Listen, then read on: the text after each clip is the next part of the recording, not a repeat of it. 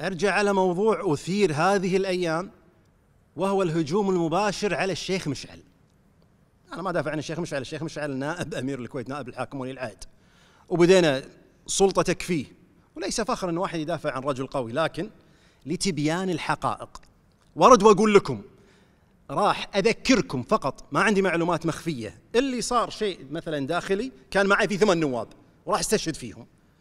اللي عندي شيء مثلا خلينا نقول قليل اللي يعرفون عنه عندي في مستند لكن الشيخ مشعل وعد بانتخابات نزيهة.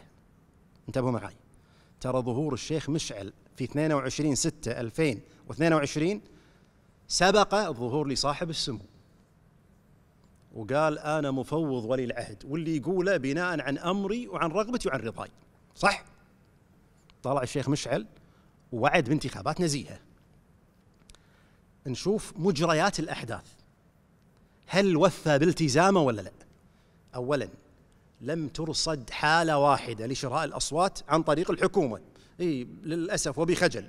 نقول ان كان في حكومات سابقة تمول بعض المرشحين عشان تنجحهم. هذه ما صارت. قام رجال المباحث في الداخلية بضرب مقار المرشحين اللي كان مشتبه فيهم يشترون الأصوات. حصل ولا ما حصل؟ وقاموا الناس وجهوا لهم اتهامات. وبعض القضايا اللي ما زالت متداولة. هذا صار. الثالثة وعد الشيخ مشعل أيضا بأن تكون الانتخابات وفق القانون. لذلك تحركت قوى الداخلية وضربت الفرعيات.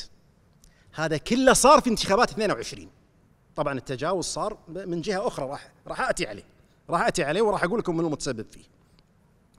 لكن إلى الآن إلى هذه اللحظة قبل الانتخابات مباشرة الرجل وفى في كل اللي قالة.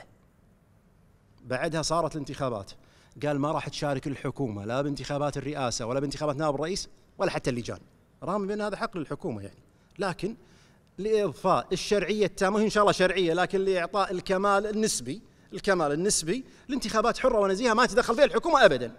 يا جماعة هذا اللي حصل. ما بقى للوزيرين المنتخبين. وانسحبت الحكومة من أول جلسة وجرت تزكية الرئيس أحمد السعدون وجرت انتخابات نائب الرئيس. ما في أحد من الوزراء إلا اثنين منتخبين وكذلك انتخابات اللجان. طيب إلى الآن أنا أرى أن الرجل سوى كل اللي عليه أدى كل اللي عليه هوجم على مرحلتين.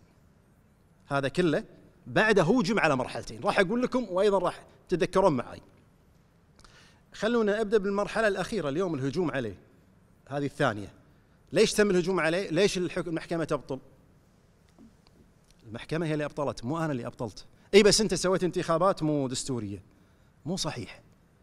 أنا لما خ... لما أمرت وصارت فيه الإجراءات اللي ياخذها كل رئيس وزراء برفع المرسوم وصدور المرسوم بوافقة الأمير أو نائب الأمير كلها إجراءات قانونية ودستورية. لكن يا جماعة الدستور ما هو منزل.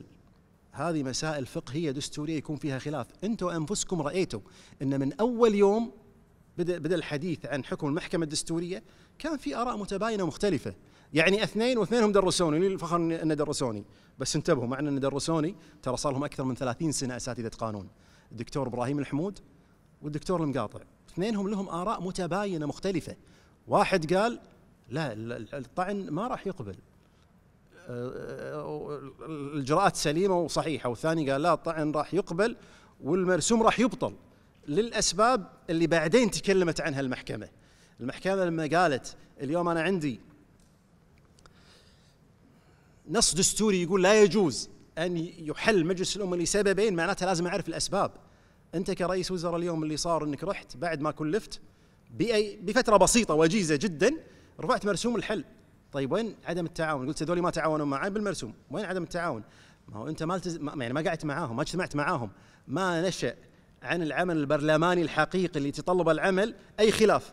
هذه وجهة النظر اللي خذت فيها المحكمة. الشيخ مشعل برضه يقول لكم مو دفاع عن المستشارين في اللي قال لها الرأي وفي اللي قال لها الرأي. كان مقتنع يعني حقيقة وصراحة بأن هذا الرأي صحيح. النبي صلى الله عليه وسلم يقول أمرت أن أحكم بالظاهر والله يتولى السرائر. إحنا ما شققنا عن صدره. لكن مكافحته ومحاربته لكل ظاهرة ممكن تعكر صفو. هذه الانتخابات يدلنا رجل كانت هذه نيته. أرد وأقول شنو السبب؟ شنو السبب في الهجوم عليه؟